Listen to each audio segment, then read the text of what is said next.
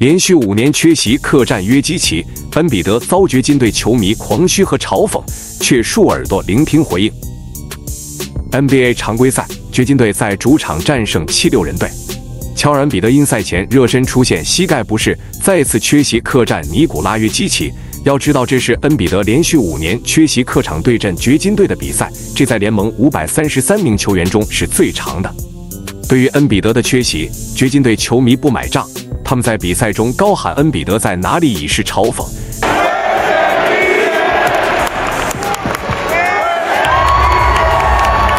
甚至有球迷再次拿出恩比德的寻人启事，嘲讽力度拉满。